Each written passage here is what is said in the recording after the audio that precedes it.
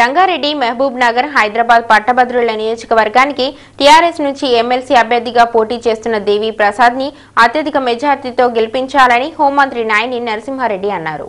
దేవి Prasad nomination కార్యక్రమం సందర్భంగా ఆయన మాట్లాడుతూ పార్టీ శ్రేణులు విద్యావంతులు అందరూ కలిసి దేవి ప్రసాద్ని అత్యధిక మెజార్టీతో గెలిపించుకోవాలి.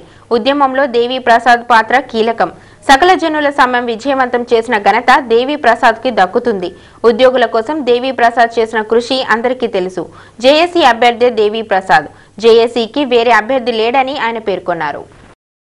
దేవి ప్రసాద్ గారు సకల జనుల సమ్మె చేసి చరిత్రను సృష్టించారు. ఈ ఎన్నికల్లో కూడా ఓటింగ్లో కూడా చరిత్ర సృష్టిస్తారని మాకు పూర్తిగా నమ్మకం ఉంది. కాబట్టి ఈ యొక్క అభ్యర్థికి వేరే ఎవరు కూడా సరిపోను లేరు.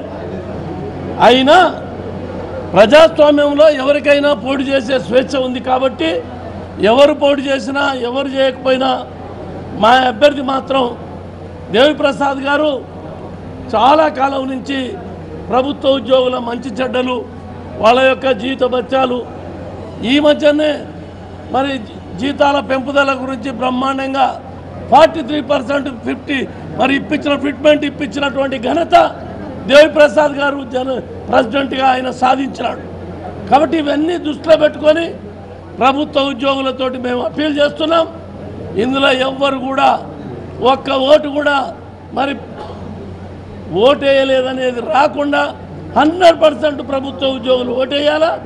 మరి అదేవిధంగా ప్రైవేట్ కాలేజీ లెక్చరర్స్ కానీ మరి మిగతా లెక్చరర్స్ కానీ మరి మా పార్టీ శ్రేణులు కానీ అందరూ కూడా తీవ్రంగా కృషి చేసి మరి మా మా మా అధ్యక్షుల వారు నిర్ణయం చేసిన అభ్యర్థిని దేవిప్రసాద్ గారిని అత్యధిక మెజార్టీతోటి గెలిపిస్తామని చెప్పని మీ అందరితోటి మనవి చేస్తూ ప్రజలందరూ కూడా తప్పకుండా సహకరిస్తారు.